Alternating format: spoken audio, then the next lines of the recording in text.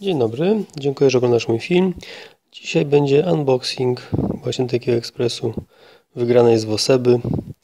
Był to e, kawiarka i kawa. Paczka przyszła elegancko, kurierem do domu.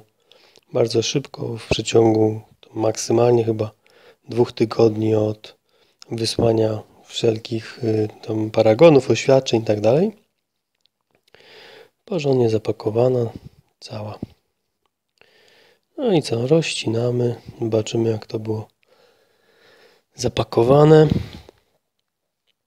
Co się w środku znajduje. Kawa Woseba bardzo dobra, opłacało się kupić. Kawiarka jest niezła. No i duża torba półlitrowej, półkilogramowej kawy. Opakowanie eleganckie. Karton wytrzymał walkę z kurierem, jak widać. Poobijany po bokach. No jest pół kilo kawy mielonej unika, kawiarka. No, zaraz otworzymy, zobaczymy. Z drugiej strony tak, takie wygodne nos nosidełko. Komu w drogę temu kawę. Woseba bardzo dobra jest. No i jak ten środek wygląda. Nie poszalało, nie rozwaliło się. Pół kilo grzecznie leży, kawiarka jest. No i niestety kawiarka nie ma żadnej instrukcji. Trzeba wejść na stronę internetową i tam zobaczyć jak się zaparza na tej kawiarce. Ładna, czysta, solidnie wykonana. Zawór. Wygrawerowana woseba z ziarenkiem kawy. Oka na jedno espresso. Super. Przy zakupie za 15 bodajże złotych taki zestaw. Ich jest 1400. Czy było?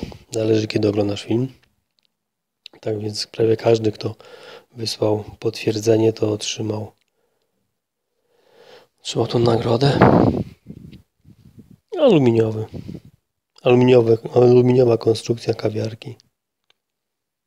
Tylko ponieważ mam kuchnię indukcyjną, jest pewien problem, bo to nie na kuchnię indukcyjną. Zatem skorzysta mamusia albo teściowa. Posmakuj świata z wosebą. Mamy ten rozkręcony, rozkręconą tą kawiarkę. Sitko, uszczelka.